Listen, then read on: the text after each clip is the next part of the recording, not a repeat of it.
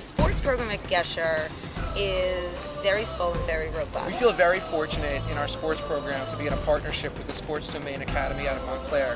Our entire athletic staff are professional athletic trainers, and they're the ones who are working with our campers here at Gesher. What Sports Domain has brought at this point is that they have the necessary tools, training kids at all different levels, the energy, the athleticism, and the drive to watch these kids progress as the summer goes on. Because this is what they do all year round as employees of Sports Domain.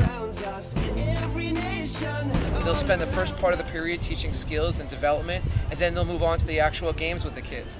Focus on the games is not on who wins and who loses or who's better or who's worse, but on the experience itself, on learning the skills, on gaining the confidence, on going through the experience of playing and participating in each of these types of activities.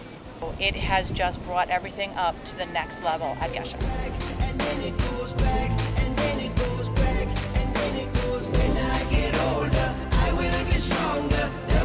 freedom